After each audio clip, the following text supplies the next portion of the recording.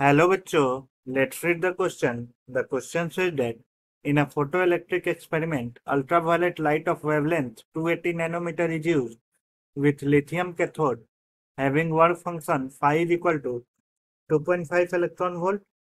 If the wavelength of incident light is switched to 400 nanometer, find out the change in the stopping potential. So, we will solve this question. First of all, we will see what will be the key concept used to solve this question? The key concept that will be used to solve this question will be kinetic energy maximum Ke max is equal to E into Vs, where Vs is the stopping potential, Vs is the stopping potential, kinetic energy maximum is equal to E into Vs, and this is electron volt, kinetic energy maximum in electron volt and also by photoelectric equation energy incident energy incident that is equal to work function plus kinetic energy maximum. Now we will see in first case we have energy incident that will be equal to 1240 by lambda in nanometer that is 280 so that will be equal to 4.43 electron volt. So we will have energy incident is equal to work function phi plus Ke max.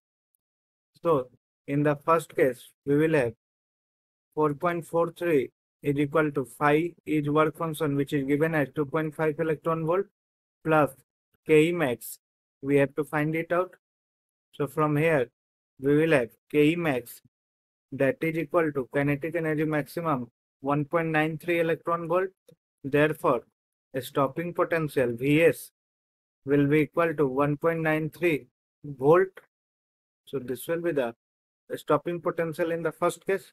Now we will see in second case we will calculate the energy incident that will be equal to 1240 by 400 because in second case the lambda incident is 400 nanometer.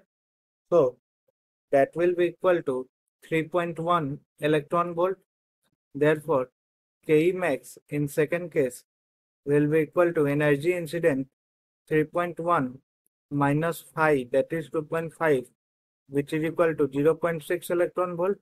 Therefore, VS, call this as VS1 that is a stopping potential in case 1 and a stopping potential in case 2 will be equal to 0.6 volt.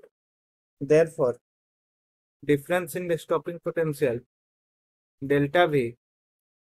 Therefore, delta V will be equal to Vs1 minus Vs2 that is equal to 1.33 volt. So, the correct option will be option A 1.3 volt. Hope you all understood it well. Best of luck.